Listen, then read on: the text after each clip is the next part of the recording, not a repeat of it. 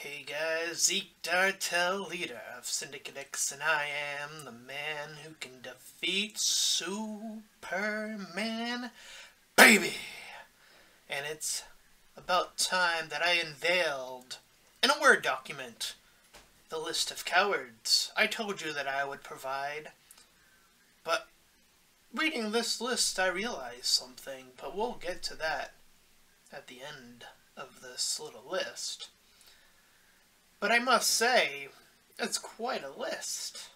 I mean, it's quite old too. I mean, from the first person I challenged from grade A under A to the former best friends, including Woolie, Pat, Liam, and Matt, Jack Jacksepticeye, Markiplier, Matt Pat, PewDiePie, Rags of EFAP, Video Game Dunkey, Keemstar of Drama Alert, Fena and the Nostalgia Critic in a two for one video, JXC, who's once again appeared on EFAP, Mr. Beast, Andrew Yang of the Political Spectrum, Tonal Luke, the god himself, and Penguin Zero, aka Greaseball.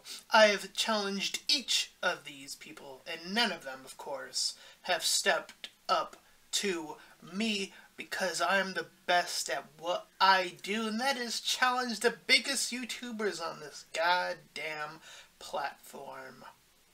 And again, none of these people stepped up to me, but I realized something about this list. It's lacking something. It's lacking a little bit of the female quality. And I I am responsible for that. I have been lacking in challenging female big YouTubers.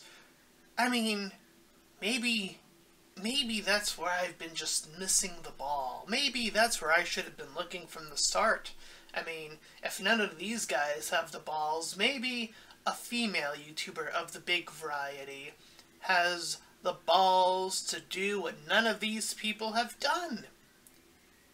So, who better than to challenge in the new video, this video right here, than the content creator of 2020, one. Oh yes, we are going there for our first big female-led challenge to Valkyrae of, again, content creator of 2020. You see, Maybe she has the courage to do what none of these lads have done before. You see, I, I, I let the past few videos know that what I'm looking for is not just some retweet on Twitter, which is what Tonal Luke did. And I do appreciate it, but that's not what I was looking for. I was looking for two things. Either one, a video response, a direct video response, or two, a collaboration with a small YouTuber, aka me. That's it. That's the two options I give. And I've been doing this work for six years plus. And I'm still a small content creator, but fuck, I guess being humble doesn't cut it.